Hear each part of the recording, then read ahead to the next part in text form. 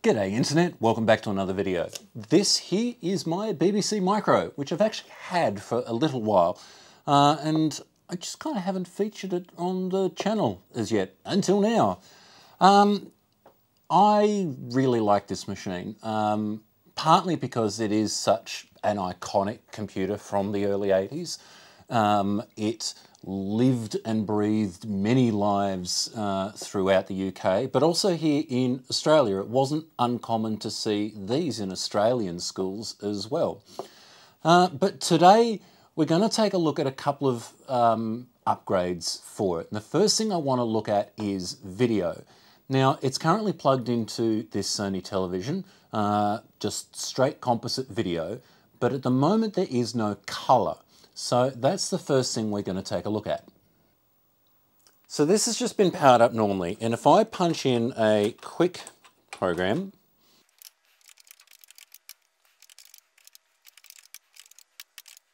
and I run this, it should do a countdown from 1 to 15 with all different colours. But if I now run this, it obviously appears in all different shades of grey. But we can kind of fix that. Buried up the back near the RF modulator uh, and the composite out, on my machine at least, has a small header pin right here, uh, two pins. Um, now, I'm led to believe that not all boards actually have this, so it might simply be a couple of solder points. But we can literally stick a, um, a jumper on there if I can do it with the camera in the way.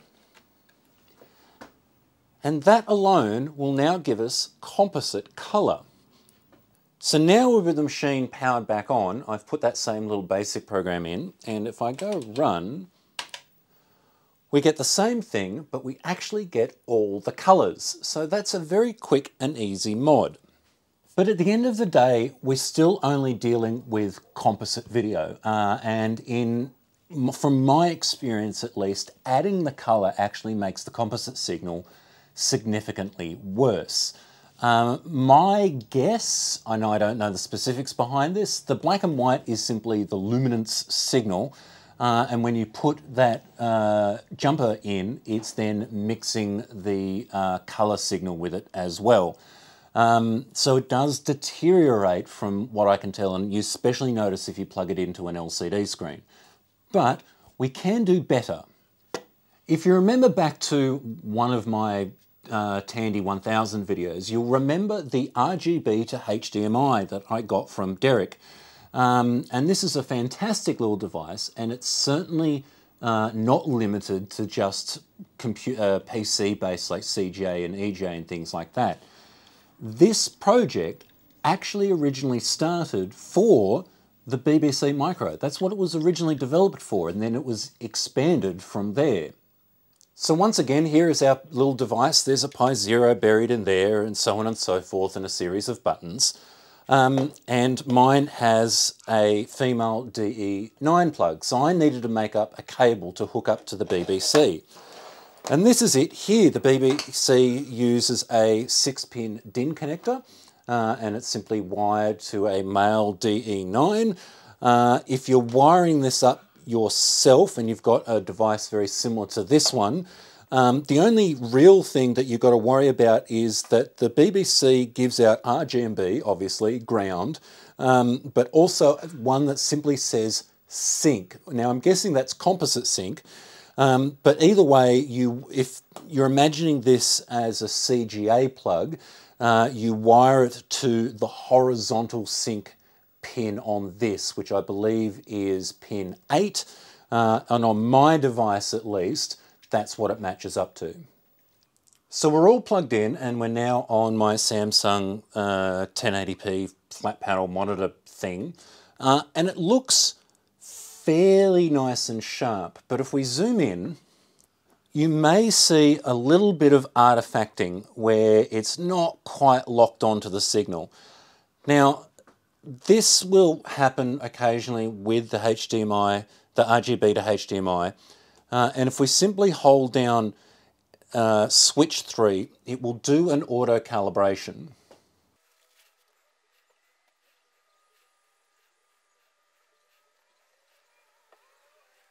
And hopefully you can see now that at least the vast majority of that artifacting has now disappeared. And if we go back to our little basic program, we have all our nice, sharp, coloured uh, numbers flashing around. So now that we have nice, sharp colour video out of our BBC Micro, what are some of the ways we can load software on it? Now, this machine is actually decked out with a disk controller, so up until recently I've simply had an external Gotek plugged into it, dial up a disk image, off you go. But there are other alternatives, and thanks to OzRetrocomp, well, Tony from OzRetrocomp, I have this here. This is the TurboSPI, which is a little uh, micro SD device that plugs into the user port underneath. Uh, we have a replacement ROM and a CD uh, full of documentation. And this is it just here. Uh, the CD has about every manual for every BBC computer under the sun uh, on here, which is kind of nice. Uh, but it also has the user manual for this ROM. Now this ROM is MMFS version 1.45 with BASIC 2. I'm actually not sure what MMFS stands for. Multimedia File System, maybe? I'm going to go with mm, File System. Uh, so that needs to go into the machine. Uh, we then have this little device here, which is the thing that goes into the user port. If I can get it out. And it's only a tiny little thing. We've got our user port connector just here, uh, a micro SD uh, slot, and that's kind of it. And this plugs in kind of underneath the machine. Um, and because I simply have too much time on my hands, I decided to design and print a uh, little cover for it. Because I figured it's hanging out underneath the machine, so yeah, why not? So that's my little addition to this project. So that with the cover off our Beeb, we can just kind of shuffle the keyboard to one side. And here we have our boot ROMs. Now, I'm not actually sure how they're meant to be numbered, if it's 1, 2, 3, 4, 5 or 0, 1, 2, 3, 4. But um, this particular ROM here is my current ADFS ROM to drive the disk drive. Uh, and the instructions say that the MMF, MMFS ROM needs to be in a higher priority slot, which means it needs to go into this empty one just here. So noting our orientation with the notch to the top, this should just drop straight in here. And that's it. That is the ROM installed.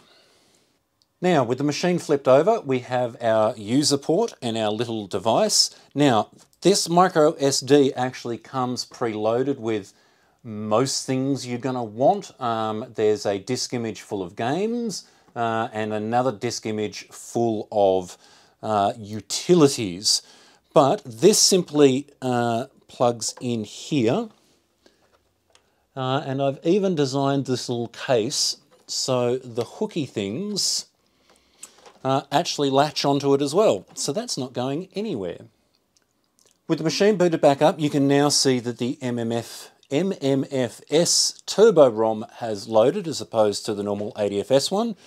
Uh, and it, in its most simplest terms, we can simply go star deboot 0, which is the uh, image that is currently loaded into 0, well, is by default. And it brings up a nice menu full of games.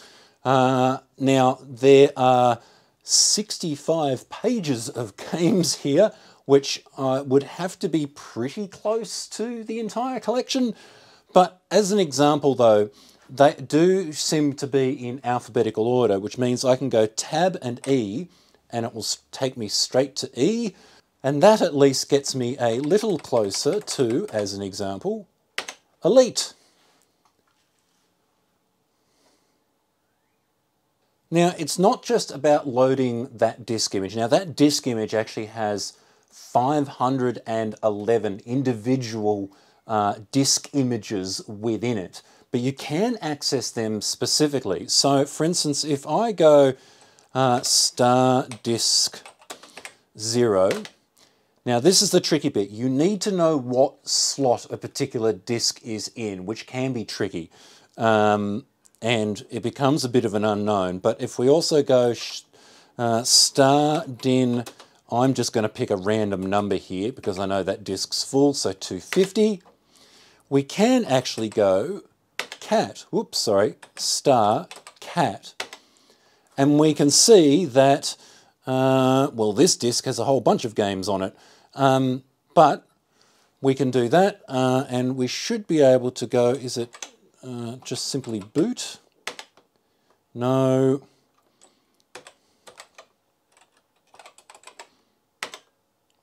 Aha, and you can just boot that disk specifically. So there we go, just a very quick look at some upgrades for my BBC Micro.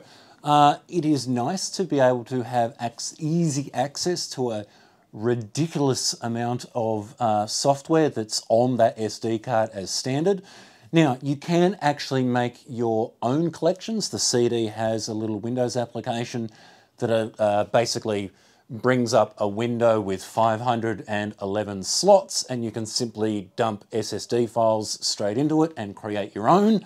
Um, you can also create blank ones. So for instance, if you want a save game disk, you can do that. Uh, or if you happen to have the urge to spark up a word processor, you can save it if you want to. But for now, that'll pretty much do it. Um, I'm quite enjoying the incredibly sharp color video that I now have out of this machine. Uh, I will put links in the description to uh, everything that I've shown you here, so the RGB to HDMI um, and the Turbo SPI. Uh, but if you did like this video or if you found it useful, click like, subscribe, all that kind of stuff. Uh, you can now find the channel on Patreon if you'd like to help us out, just like these wonderful people just here. Uh, but for now, that'll pretty much do it, and I will see you in the next one.